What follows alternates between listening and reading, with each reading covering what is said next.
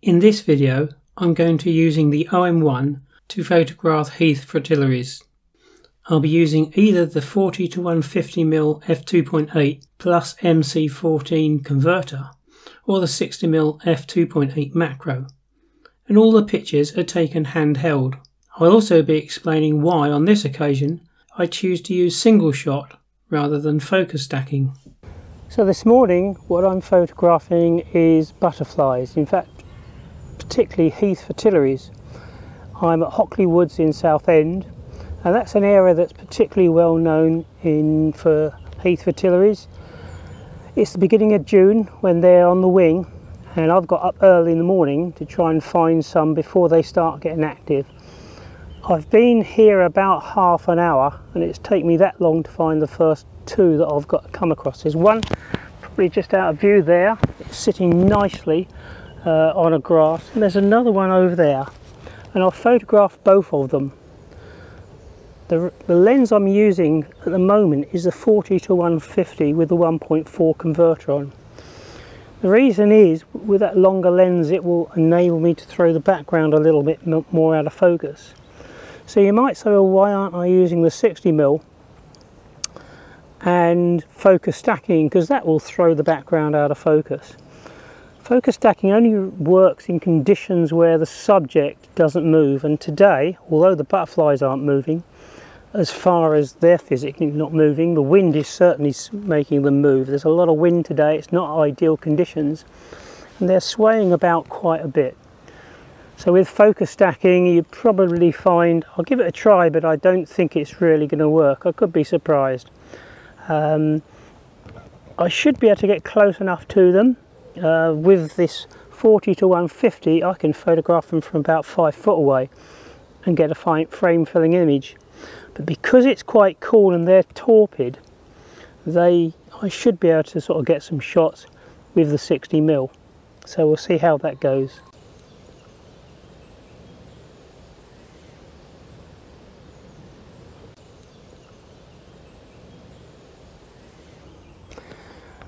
It's important when you're photographing a butterfly like this, it's just sitting there nicely on a bit of grass with its wings folded back, that you try to get the camera parallel, or the back of the camera as parallel with the actual butterfly as possible. You're going to get a lot more in focus if you can get the back of the camera parallel. Now the, it's sitting there nicely, but if I shoot it from this angle, I'm going to be photographing it more head on and I won't get the back wing shot. I can get parallel with it, get flat onto it. I stand a lot better chance of getting a nice sharp image.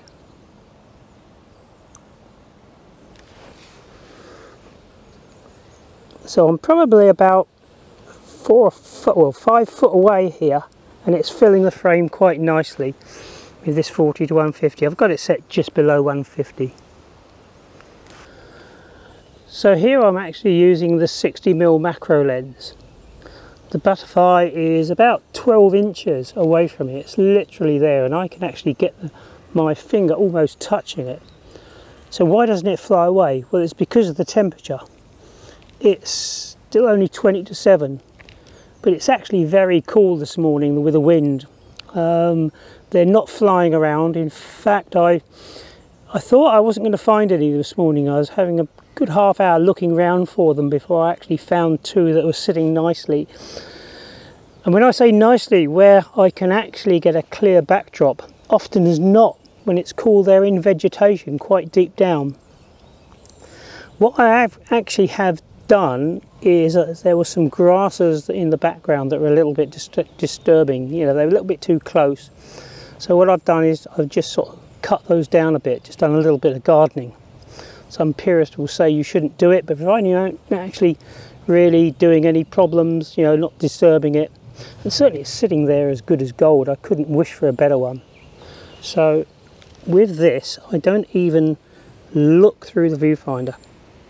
I'll just compose it on the back screen, but it's really moving around quite a bit now. It's just a case of taking a series of pictures and I've actually got the camera set on continuous autofocus although I'm taking single shots I've got it on continual autofocus because it's moving very very slightly, only a little bit. So that continual autofocus will help to keep it in focus. It's really going ridiculously now. And, and when that happens, the best thing to do is just wait. I mean, the wind you can see is swaying about quite a lot. But if you wait long enough, eventually you'll get a lull in that wind and they will be more or less stationary. Not perfectly, but you stand a lot better chance. Just wait. It just dropped a little bit now. So take a couple more. We'll see what we get.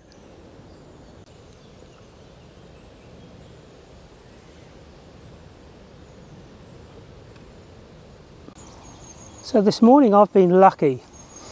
When I first got here, it's been half an hour wandering around and I thought conditions really wouldn't be suitable, but I think I've got some nice shots. Sometimes you can find butterflies, particularly when it's cool like this, and they're quite low down in the vegetation. Fortunately, these ones have sat there quite nicely. I've had to do a little bit of gardening, just sort of taking one or two distracting bits of grass in the background out. But I can do that quite easily with a pair of scissors because it's not actually worried, it's, it's sitting there quite happily. And in these conditions, you can actually move them. People don't realise that, that when it's cold like this, you can actually get them on the end of your finger and move them around and then transfer them onto other things. So I'm going to try it here with this. Just see if it will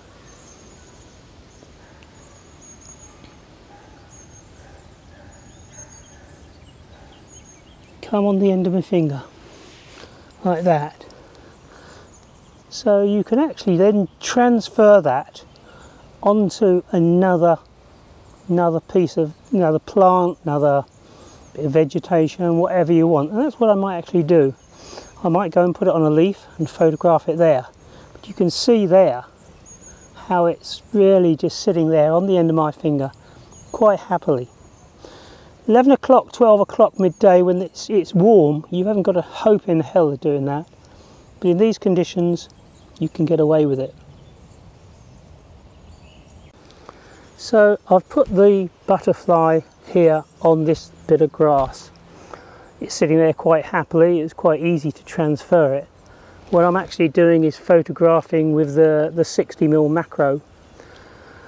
I can shoot at 200, I'm getting 250th of a second, but at the moment it's still swaying about all over the place. Probably not the best piece of grass that I could have selected. It's quite tall, so the wind's catching it. Been better picking something a little bit lower down. But even still, even with it moving around, if I wait long enough, there will be a lull in the wind, and that's when I can take some shots.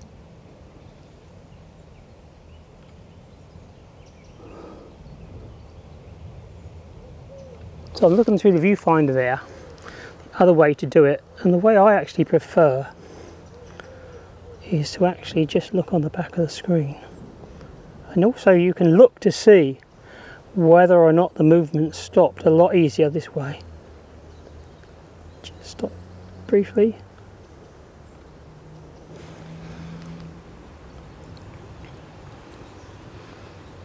Zoom into it, that looks okay, that looks fine.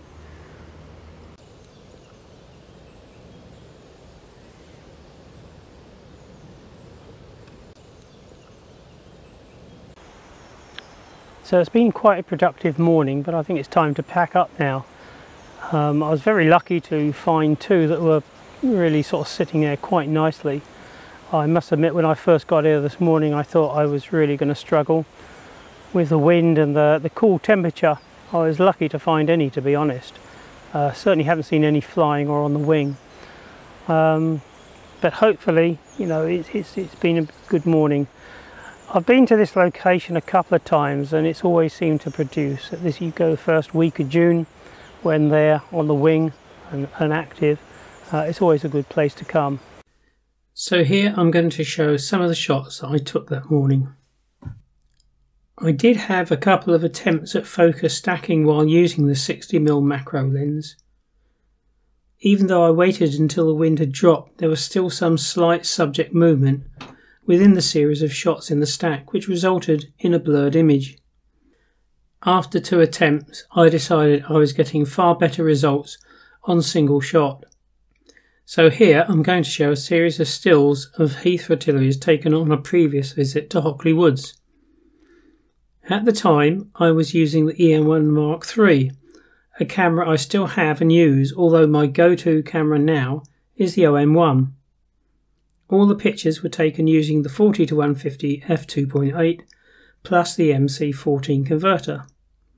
The big advantage of using a longer focal length lens for macro is that you can photograph insects and butterflies from 5 foot away, which means there is far less chance of scaring them. All these shots are again taken handheld. On this occasion I managed to find a pair of mating heath fritillaries. They were on the natural food plant which is cow wheat. They were quite low down and at an angle that made it difficult to get a decent shot. With this shot I photographed them at f11. This is the smallest aperture that I'll use on the Olympus.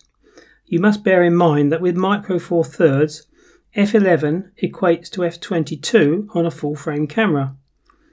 Although you should theoretically get more depth of field with a smaller aperture, you will start to get a softening of the image due to diffraction. Because of this, I normally shoot most of my single macro images at either f5.6 or f8. I did manage to coax them towards the end of the plant, which resulted in this image, which I felt was the best image of the day. Using the 40 to 150 2.8 plus MC14 converter enabled me to get a very clean backdrop. I hope you enjoyed the video and found it helpful. Please subscribe to my YouTube channel to be notified of future uploads. Thanks for watching.